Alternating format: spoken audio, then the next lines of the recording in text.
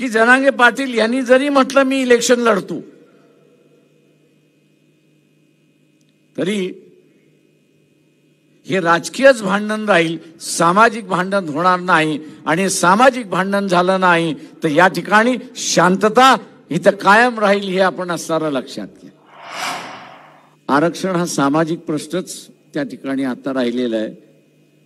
तो आता म्हणजे राजकीय प्रश्न राहिलेला आहे तो आता सामाजिक राहिलेला नाही पण तो राजकीय जरी असला तरी त्याचा तोडगा निघाला पाहिजे. आणि म्हणून आजच्याही असणाऱ्या या जाहीर सभेला आम्ही सगळ्यांना पुन्हा त्या ठिकाणी बोलवलं. परंतु दुर्दैव असं म्हणेन की राजकीय भूमिका कोणी घ्यायला तयार नाही. जरांगे पाटील यांची जी मागणी आहे की मराठा समाजाला ओबीसीतून आरक्षण द्या ही ज्यांची मागणी आहे पहिली मागणी. आणि दुसरी मागणी ही आहे की सगळे सोयरे यांनाही त्या ठिकाणी आरक्षण मिळालं पाहिजे. या ज्या दोन मागण्या आहेत या दोन मागण्याच्या संदर्भात मी असायला मानतो की राजकीय पक्षाने भूमिका घेतली असती. तर कदाचित जे महाराष्ट्रामध्ये झालं ते काय ते घ- झालं नसतं.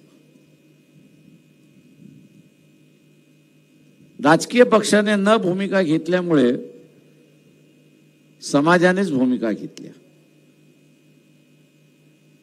ओबीसी समूह जो होता तो म्हटला आमचा असणारा जरांगे पाटलाच्या मागणीला विरोध आहे आणि आम्ही विरोध करत राहणार आणि त्या निमित्ताने असणारा कार्यक्रम सुरुवात झाली. जिल्ह्यात सुरुवात झाली तालुक्यात सुरुवात झाली गावात सुरुवात झाल्या वेगवेगळ्या समाजाच्या बैठका त्या ठिकाणी सुरुवात झाल्या. आणि दुसऱ्या बाजूला जरांगे पाटील यांच्या असणाऱ्या नेतृत्वाखाली एक प्रचंड मोठं आंदोलन उभं राहत राहिलं की ज्याच्यातून माझ्या अगोदरच्या असणाऱ्या अनेक व्यक्त्या वक्त्याने की दहशत कसं निर्माण केलं जातं अशी असणारी परिस्थिती होती. आणि परिस्थिती का निर्माण झाली? तर राजकीय पक्षाने भूमिका घेतल्या नाही म्हणून. कदाचित राजकीय पक्षाने भूमिका घेतल्या असत्या तर या पक्षाची बरोबर बरोबर आहे त्या पक्षाची चूक आहे याच्यावरतीच असणारी ती चर्चा खेळत राहिली असती. ती गावागावामध्ये ही फूट पडली नसती असं मी त्या ठिकाणी मानतोय. पश्चिम महाराष्ट्रामध्ये सुद्धा ती फूट आम्हाला दिसते. नाही असं नाही. तिची सगळ्यात तीव्रता जी आहे ती मराठवाड्यामध्ये आहे आणि मराठवाड्याच्या लागून जे जिल्हे आहेत त्याच्यामध्ये आहे. ती इतर जिल्ह्यांमध्ये नाही असं म्हणता येत नाही. तीव्रता कमी असेल पण फूट निश्चित आहे अशी असणारी परिस्थिती आहे.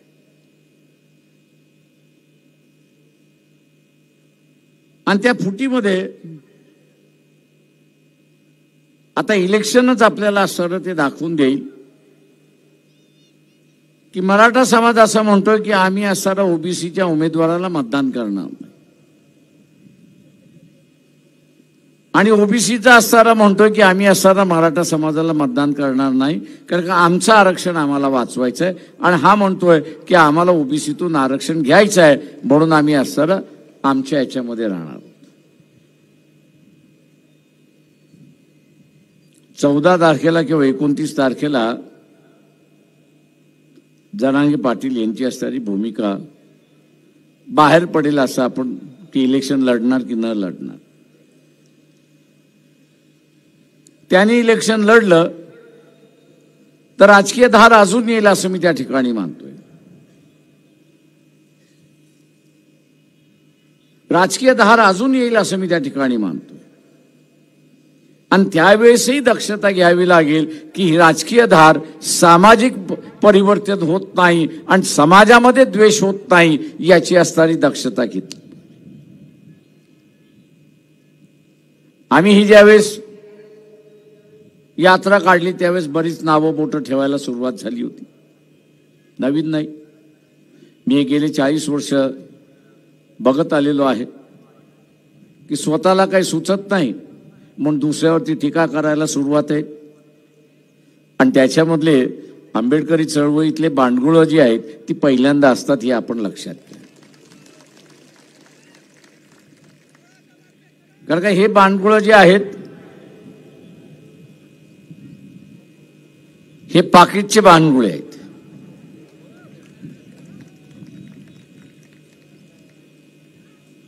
आणि त्याच्यामध्ये त्यांनी सुरुवात केली. पण आज मी खात्रीला एक सांगू शकतो. की जनांगे पाटील यांनी जरी म्हटलं मी इलेक्शन लढतो तरी हे राजकीयच भांडण राहील सामाजिक भांडण होणार नाही आणि सामाजिक भांडण झालं नाही तर या ठिकाणी शांतता इथं कायम राहील हे आपण असणारं लक्षात घ्या.